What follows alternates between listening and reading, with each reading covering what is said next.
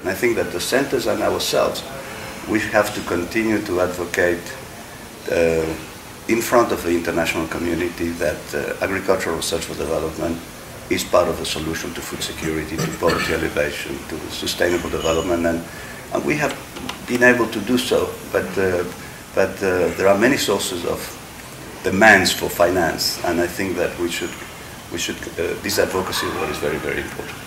The, um, the move towards uh, accountability uh, for our work, uh, I think is, is, is, is great. And I think it's a, a big step in the right direction. Uh, you mentioned quality control. I couldn't agree more. I think we need to make sure that the CGIAR is the place for excellence in research sharply targeted towards development outcomes.